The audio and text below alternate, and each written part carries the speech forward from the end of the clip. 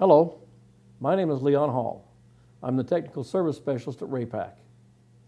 After watching this video, you will be able to remove the rollout safety switch on the Raypak 106 and 156 above ground pool and spa heater. The tools you will need are pipe wrench or large channel lock pliers, Phillips screwdriver and flat blade screwdriver, needle nose pliers, 1 quarter inch nut driver or socket. Verify the following before starting.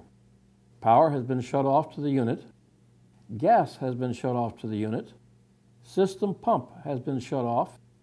Using your pipe wrench or channel lock pliers, remove the gas line from the gas valve for easier access to the rollout safety switch. Remove two Phillips screws from the bottom of the door panel.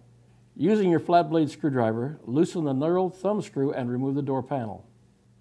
Remove the two red wires from the rollout safety switch located to the left of the gas valve. Using 1 quarter inch nut driver or socket, remove the screw holding the rollout safety switch. Remove the rollout safety switch and discard. Install new rollout safety switch in reverse order. Thank you for watching this video.